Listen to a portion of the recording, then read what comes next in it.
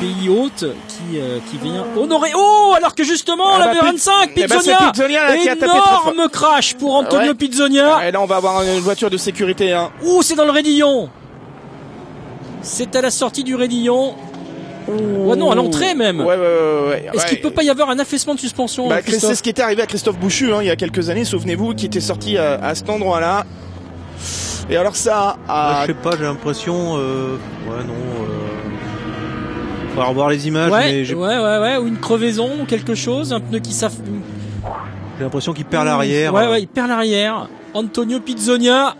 oh, Ouh. qui, ouais, qui a un petit, un petit peu mal. Hein. Forcément, là, ça tape très, très, très fort à, ce, à cet endroit. Alors qu'on euh, change euh, de pilote. Ouais, oui, voiture de sécurité. Bien sûr, bien sûr, bien voiture sûr. de sécurité, c'est logique. Après cette euh, sortie de Antonio Pizzonia, On est à peu près à 11 tours euh, des, arrêts normaux, donc on va voir ce que vont faire les équipes.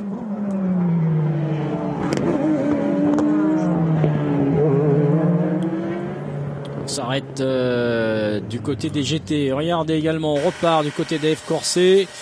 Voilà la neutralisation, hein, c'est après cet énorme euh, choc d'Antonio Pizzonia.